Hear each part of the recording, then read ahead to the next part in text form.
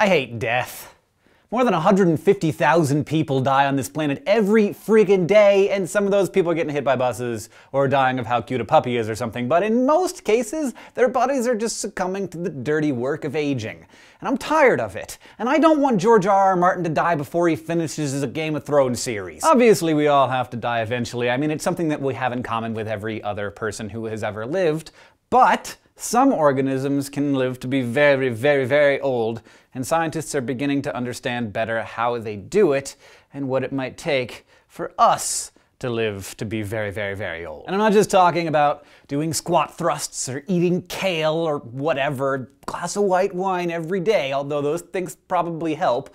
I'm talking about discovering how our cells die, why they do it, how our genes make us age, and yes, how our behavior influences our longevity. So I'm like, come on, scientists, make me live forever, please.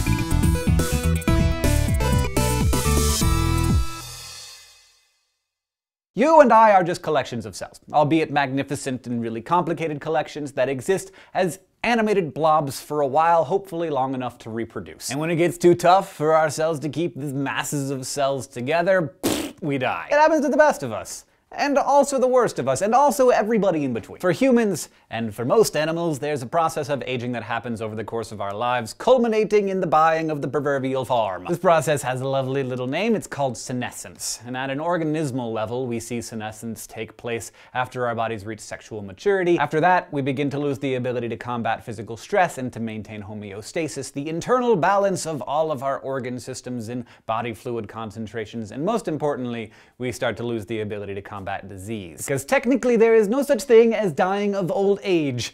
Everybody dies of something. But this is good news. Not all animals do this. Not all animals age this way. Some, particularly some cold-blooded animals, exhibit what's called negligible senescence. They don't lose their ability to reproduce over time, and their death rates don't necessarily increase with age. These animals basically stay at a certain level of fitness until something terrible happens to them, like a disease or predation or a really big, fast truck barreling down the road that they're about to cross. So, for instance, Galapagos tortoises have been known to live for 170 years, and lobsters can live to be 140, and the oldest quahog clam ever collected was about 405 years old. Frickin' Shakespeare was writing Hamlet when that clam was born. So that's totally unfair. Why do some animals get to start to die as soon as they reproduce, but others get a hall pass to near immortality? Scientists don't know for sure. They're trying to figure it out by studying senescence at a cellular level. And it turns out that our stupid cells have their own deaths programmed into them. Our somatic cells, the cells that aren't sperm or eggs, are constantly dividing and making copies of themselves.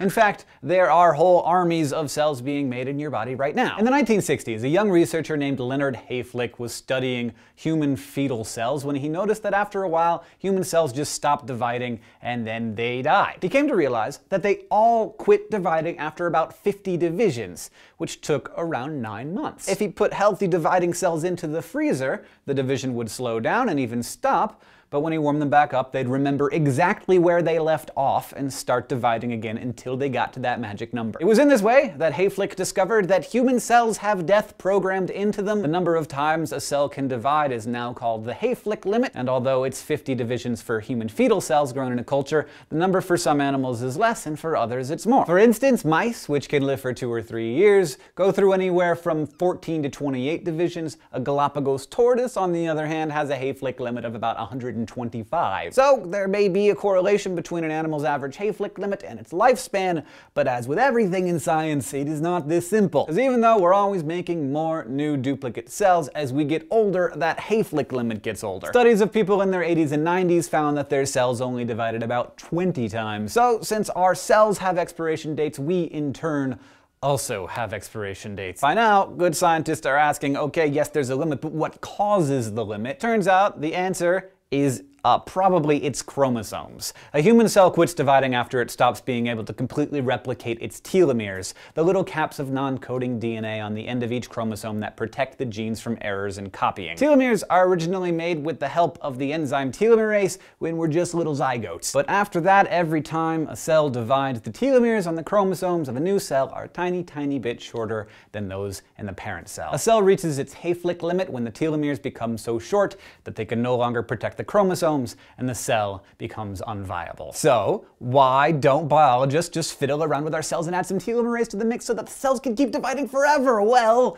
there's actually a kind of cell that already does that really well. Cancer cells. Yes, cancer cells can sometimes create their own telomerase so that they can replicate indefinitely without their chromosomes getting damaged, which is why they divide like crazy and become tumors. Because of that, nobody's super anxious to start injecting people with telomerase. And in fact, one theory is that programmed cell death evolved in order to keep our tissues from undergoing explosive cancerous growth. So, senescence, one thing that we have to grapple with as mere mortals, but another thing that's keeping us from playing basketball until we're 500 is our genes. Here, research into extending longevity has focused on a little nematode called C. elegans. These little worms are really good test subjects because their lifespan's only about 14 days and they only have about 20,000 genes, so scientists have been able to pinpoint the genes that are most likely in charge of aging. In 1993, Cynthia Kenyon, a biologist at the University of California in San Francisco, found that there was just one gene that was making these worms age. It's called DAF2 and when she messed around with that gene, basically mutated it so that it didn't work, her worm started to live 28 days instead of just 14. Twice as long! If they did that for us, we would live to be like 160. And not only that, the worms were like spunky and vivacious all the way until they croaked. Kenyon also found another gene called DAF16 that has the opposite role. It keeps the worms young and healthy by regulating the production of antioxidants, germ-fighting proteins, and other things that fight off pathogens and the effects of stress. Because, you know, being a worm, stressful. So what Kenyon found is that the aging gene worked by restricting the effects of the longevity gene. And when you damage the DAF2, DAF16 just keeps on doing its business, keeping the worms young. Now, that's all well and good for the worms. I'm glad that they're having nice, long, healthy lives, but I'm not really too concerned about them. What about us? Well, in mammals, scientists have indeed found two counterparts to that nematode aging gene, and in humans, a lot of research has focused on one gene in particular that creates a growth hormone called IGF-1. When scientists silence this gene in mice, there is less cell and organ damage caused by oxidation. Organs seem to be less susceptible to cancer and other age-related illnesses, extending the mice's lifespan by up to 33%. Now, why aren't we injecting George Martin with this stuff already? Well, for now, scientists aren't ready to start exploding everybody's genes just because it works in mice doesn't mean it's going to work for people. But it does lead us to one more final cause of aging that scientists are investigating Calories. That's right. It turns out that even though we need calories to live and work, the calories we take in are also stimulating the aging process. Scientists have known, actually since the 1940s, that lower caloric intake leads to longer lifespans in mice and other animals, but it wasn't until recently that they put their fingers on the possible cause that calorie intake stimulates IGF-1. How that works isn't exactly clear. In fact, it's one of the bigger mysteries in the study of aging. But one theory is that since IGF-1's ultimate job is to direct food energy toward growth, if you take in fewer calories, your metabolism shifts gears from growing to simply maintaining existing cells and bolstering your resistance to stress and disease. So getting bigger and stronger becomes important than just staying alive. But before you put yourself on an all celery and watercress diet, don't, because again, just because something increases the lifespan for a mouse doesn't mean it's going to have the same effect on you. Are you a mouse? If you're a mouse, then do that. Scientists have been doing calorie intake studies on animals more like us, monkeys for instance, but it's tough to do longevity studies on long-lived animals because they take freaking forever because they're like not dying. The longest running human longevity study has been going since 1921, which is pretty cool. Good job doing science back in the day when our subjects were about 10 years old. Some of the kids involved in that research are indeed still kicking Good work, folks. But as you might expect, uh, many of the researchers have since died as well. One of the pitfalls of studying aging. So it might be a while before somebody's willing to tinker with your cell chemistry or genetic code to help you stay young and spunky forever. But in the meantime, you can take a look at your family. How old are they living to be? How long your grandparents and parents live probably accounts for about 20 to 30% of your chance of living past the ripe old age of 85. Otherwise, lifestyle choices like diet and exercise and whether or not you smoke play a pretty obvious role in longevity. Studies show that Seventh-day Adventists, always great research subjects because they're an actual religion that encourages regular exercise, vegetarianism, and refraining from smoking and alcohol, have an average lifespan of about 88 years, about 8 years longer than the average US citizen. So, while our best and brightest keep researching senescence, genetics, and calorie intake, just don't smoke like Kate Moss, eat like a pig or drink like a fish, and you may live longer than those things at least. And one final thing that you can do to increase your lifespan, go to youtube.com slash scishow and subscribe. Proven! We've done the research. I promise. If you have any questions or ideas or thoughts for us, please leave them below in the comments or on Facebook or Twitter. And we'll see you next time.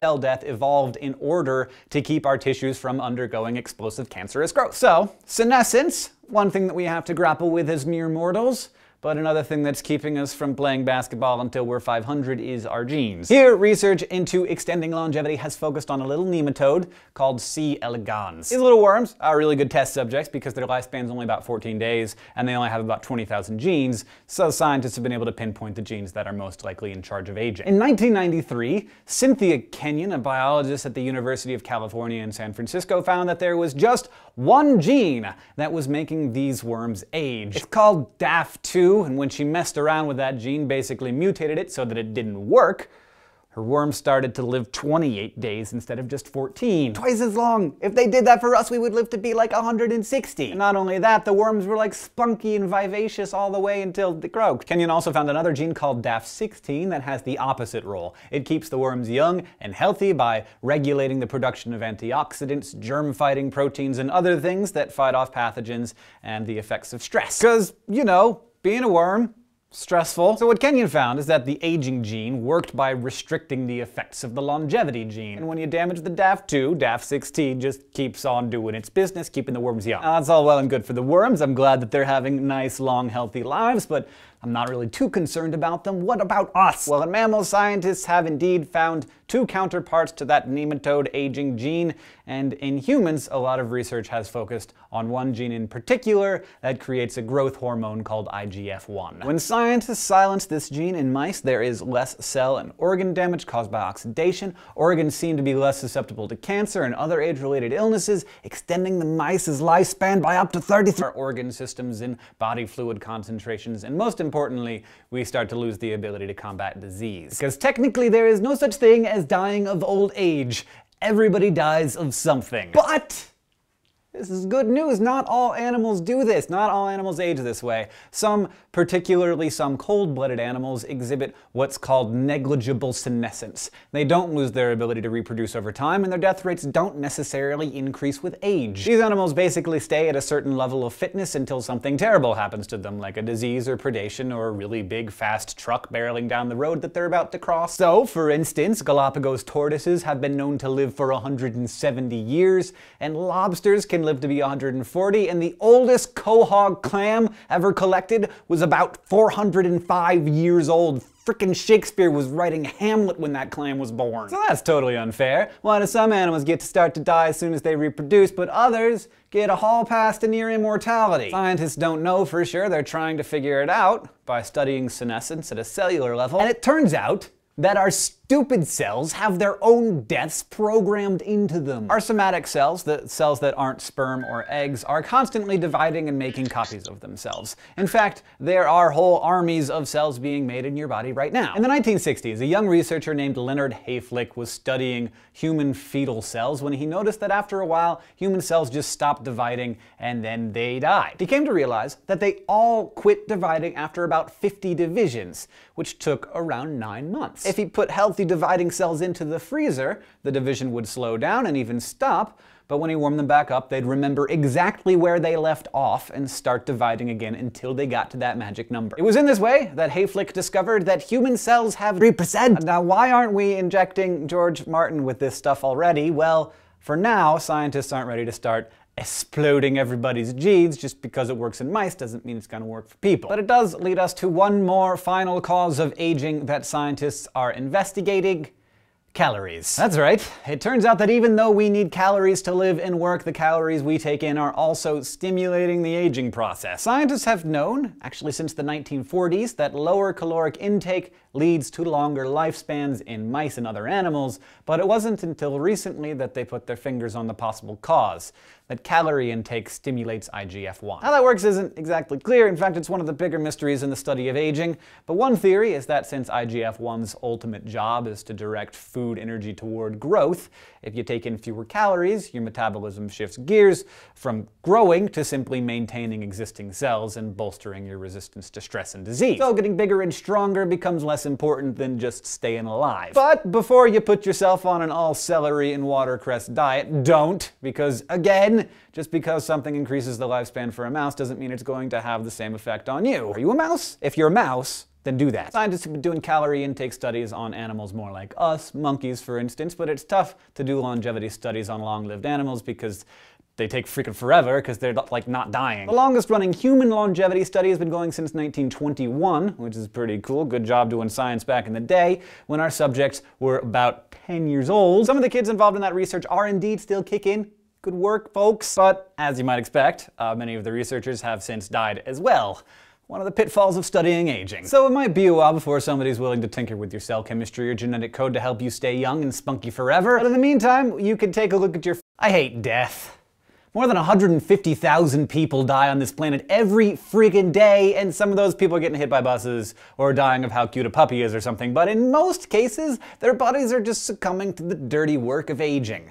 And I'm tired of it. And I don't want George R. R. Martin to die before he finishes his Game of Thrones series. Obviously, we all have to die eventually. I mean, it's something that we have in common with every other person who has ever lived, but some organisms can live to be very, very, very old, and scientists are beginning to understand better how they do it and what it might take for us to live to be very, very, very old. And I'm not just talking about doing squat thrusts or eating kale or whatever, glass of white wine every day, although those things probably help.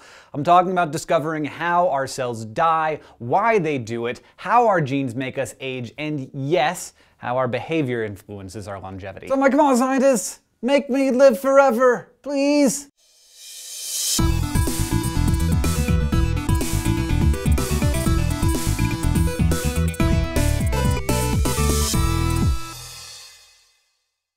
You and I are just collections of cells, albeit magnificent and really complicated collections that exist as animated blobs for a while, hopefully long enough to reproduce. And when it gets too tough for our cells to keep these masses of cells together, we die. It happens to the best of us and also the worst of us, and also everybody in between. For humans, and for most animals, there's a process of aging that happens over the course of our lives, culminating in the buying of the proverbial farm. This process has a lovely little name, it's called senescence. And at an organismal level, we see senescence take place after our bodies reach sexual maturity. After that, we begin to lose the ability to combat physical stress and to maintain homeostasis, the internal balance of all of our death programmed into them. The number of times a cell can divide is now called the Hayflick limit, and although it's 50 divisions for human fetal cells grown in a culture, the number for some animals is less and for others it's more. For instance, mice, which can live for two or three years, go through anywhere from 14 to 28 divisions. A Galapagos tortoise, on the other hand, has a Hayflick limit of about 125. So there may be a correlation between an animal's average Hayflick limit and its lifespan,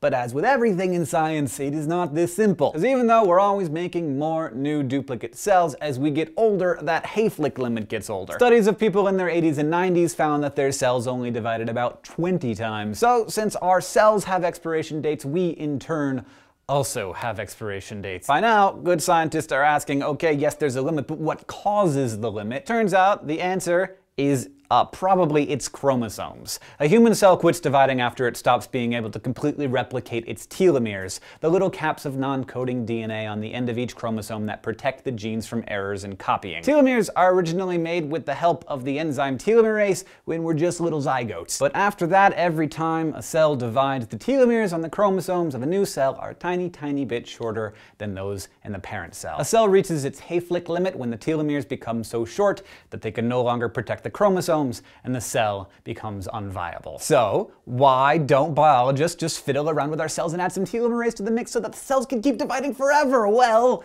There's actually a kind of cell that already does that really well. Cancer cells. Yes, cancer cells can sometimes create their own telomerase so that they can replicate indefinitely without their chromosomes getting damaged, which is why they divide like crazy and become tumors. Because of that, nobody's super anxious to start injecting people with telomerase. And in fact, one theory is that programmed